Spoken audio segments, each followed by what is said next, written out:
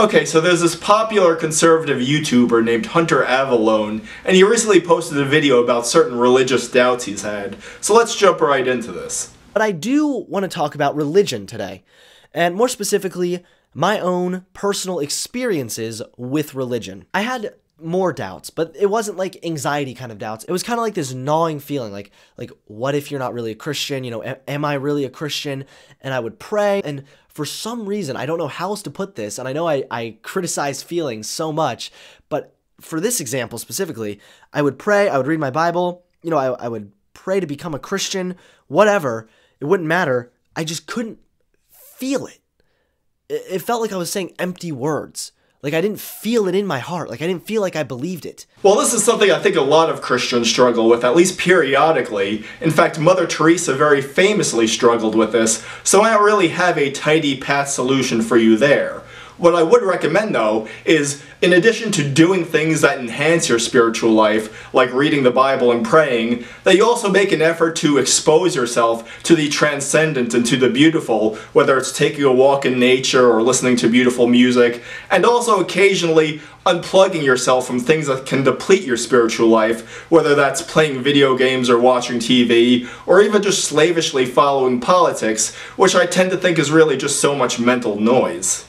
And then it was only about maybe last year, maybe the end of 2015, somewhere around that, that I really started to, I guess, look critically at Christianity. You know, I, I got to this point, I'm not really sure when I reached this point, where I stopped worrying so much whether I really am a Christian or like they would say things at church, like raise your hand if you want to become a Christian. And I kind of wanted to raise my hand, but I was sort of worried, like, what are people going to think about me? Like, I'm already supposed to be a Christian here. But I finally got to a point where I was able to just step back and look critically at Christianity and look critically at what I am claiming I believe. You know, I remember being in church and I would hear them talking. They would say something about God. I don't I don't remember exactly what it was. And I would I would go into I hate to use this word, but I would go into skeptic ugh, skeptic mode. Um, you know, and I would be like, "Really?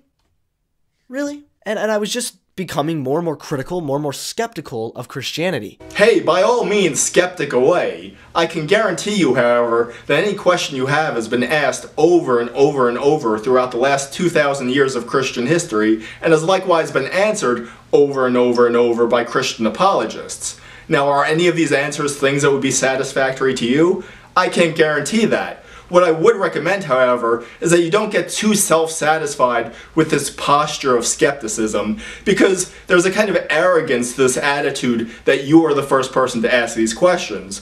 So you shouldn't simply stop at, I'm not sure if this is the case. Rather, you should have the attitude of, let me find out if this is the case. Christians still criticize me, and when they do it, you can just hear the condescending attitude behind their words because it gets really annoying whenever I make a post on Instagram or make a joke on YouTube that I think is funny but it's a little bit edgy. I get a bunch of these, you know, snobby, snot-nosed Christians coming at me saying, "Oh, oh gosh, Hunter, that's not very Christian, Hunter. That that you're being unchristian, Hunter. Just shut the hell up, okay? That you can just tell they're standing on their pedestal, looking down. They just think they're so much better than thou. Well, I'm sorry for your experiences. I mean, what can I say except that Christians are human beings and don't have any monopoly on snobbiness or snot-nosedness. I mean, I've been dealing with snobby, snot-nosed atheists every day for the last 10 years. So moving on, yeah, I would continue to look critically at Christianity. The more critical I became of Christianity, the more I guess, flawed it started to seem. And I'm a very logic based person. You know, if something isn't logical, then I have a really hard time believing it. Hey, it's great that you consider yourself logical. I think most people like to consider themselves logical. Please bear in mind, however, that what seems apparent or commonsensical to you is not the sum total of logic. In fact, what's logical may have nothing at all to do with what's apparent or commonsensical to anyone. In fact, I'm telling you right now that what you give us here has absolutely nothing to do with logic. And I've kind of reached this point where I don't know how on earth, me as a logical person, I am supposed to believe that an all knowing spirit who came out of nothing created the earth and then hears your prayers even when you close your eyes and pray them in your mind. So I'm supposed to believe that there is a giant, all knowing spirit floating around the earth that can read my thoughts. I mean, does this not sound crazy? Well, any position can sound crazy if you strawman it, but what you gave us here is not illogical per se. Uh, you say God came from nothing? Says who? Every philosopher or theologian I know of, from the time of Aristotle onwards, hold that God is a timeless, spaceless, uncaused first cause. God did not pop into being at a given point in time because God set time itself into motion.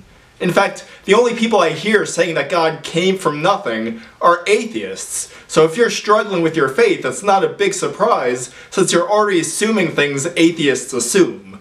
Now, let's get back to this other point you make. That an all knowing spirit who came out of nothing created the earth and then hears your prayers even when you close your eyes and pray them in your mind. So I'm supposed to believe that there is a giant, all knowing spirit floating around the earth that can read my thoughts. Okay, so you're having intuitive difficulties with this notion that God can hear our prayers, and again, your objections have nothing at all to do with logic. But since you're presenting intuitive objections, uh, I'm going to give you an intuitive response.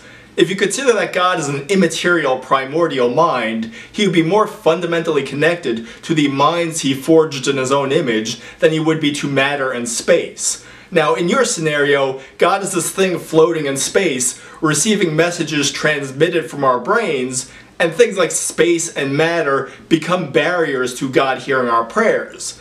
These kinds of barriers fall away when you simply consider that God is mind prior to matter. Now, interestingly, quantum physics is increasingly making the case that it's mind and information rather than matter that's fundamental to reality. Uh, you might want to see Inspiring Philosophy for more about this. And this is what happened to me when I was in church. Before I came to this point, they would say things, and I would just think, this just sounds like a fairy tale. And the more I looked into it, the more I saw the starking amounts of evidence against creationism, Christianity, Hey, if you want to ditch young earth creationism, by all means be my guest. Many Christians, myself included, were never creationists. In fact, creationism wasn't even really a thing until 19th century America, so evidence against creationism is not evidence against Christianity. And besides being just generally ignorant to, to specific facts, I started to see other flaws in Christianity. And one of them, one of my biggest problems with Christianity being the way it seems to be a bit of a circle jerk. You know, Christians say, well, God is real. Okay, we'll prove it. Well, it says so in the Bible. And the way I think is, how is that any different than than a feminist saying, "Hey Hunter, guess what? The wage gap is real." And me saying, "Okay, well, why don't you go ahead and prove that?" She goes, "Yeah, go to feminism.com." It's just this circular logic. It just goes back into itself. Do some Christians respond to the demand for evidence in that way? Maybe some do, but certainly not all. In fact, it's just ignorant to claim that no Christian has ever presented evidence for God besides, it says so in the Bible. If that's all you've heard, you haven't done your research. But hey, if it's circular logic you want to hear, try asking an atheist to defend their claim that there is no evidence for God. Either they'll present you with a rephrased version of their original claim, or they'll shift the burden of proof back on you. And you know, I don't know if Bigfoot is real or not, but why do you think people who dedicate their entire lives to searching for Bigfoot, even though they've never found Bigfoot, are dead set on the fact that Bigfoot must exist? Because the more time you dedicate to anything, the more real it becomes. But just if it becomes real to you, doesn't mean that it actually exists. That may very well be the case. I don't see how that casts suspicion on Christianity more than any other idea a person could dedicate themselves to. A person could dedicate their lives to proving that God doesn't exist, and the more they do so, the more and more real God's non-existence seems to them. All it means is that each one of us should be more critical about the beliefs we hold. Another uh, thing about God, and this is a, a very typical thing said by a lot of the uh, I don't know. I, I hate saying skeptics, but I don't know what else to say. God is what's called, I believe it's an unfalsifiable hypothesis. That's the idea that just if you can't prove something doesn't exist, it must exist. So if I say, you know, I can shoot rainbows out of my out of my finger, but only when you're not looking. You have your eyes closed. I can shoot rainbows out of this finger. Can you prove me wrong? No. Does that mean I can shoot rainbows out of my finger? Also no. Okay, A, that's not what an unfalsifiable hypothesis is. B, God's existence is not unfalsifiable in any case. And C, if you're going to claim that the only argument anyone has ever given for God's existence is you can't prove it's not so, well, that's just ignorance on your part. Yes, people have given bad arguments for God's existence, just like they've given bad arguments for pretty much everything. That doesn't mean that there aren't good arguments for God's existence, though. Please acquaint yourself with them before making any more of these videos. Another thing I hear from Christians anytime someone dies, you know, God has a plan. I know it's it's so hard to believe this, but trust me, God has a plan for you. This is part of God's plan. There was one thing that struck me thinking of this logic, and that is uh 9/11, the Twin Towers, and that very famous footage of the man jumping from the towers, plummeting to his death. And it, it was videos like that, and I saw that video and I thought, really? So God has a plan. Is that part of God's plan for that guy to jump off that building? I, I'm asking.